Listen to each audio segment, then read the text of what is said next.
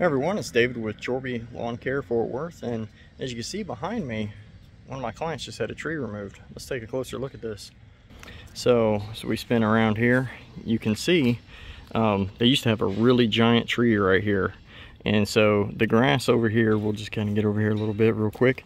You can see the grass is always really thin, was always really struggling to grow in thick and healthy. Over here on the other side of the yard, no problems, nice, thick, healthy St. Augustine. But, and you can see where the tree was at. And you can see just from the shade covering this whole side of the yard and then you know the neighbors has got a got a tree too but basically sunlight is the most important thing that you need to have a healthy lawn and by giving your yard the right amount of sunlight, this yard's gonna thicken up and it's gonna look really nice and pretty soon this side is gonna be just as nice and thick and healthy as that side. Uh, keep in mind it's not as green because we're fixing to go into dormancy season, but I look forward to showing you this here in the spring.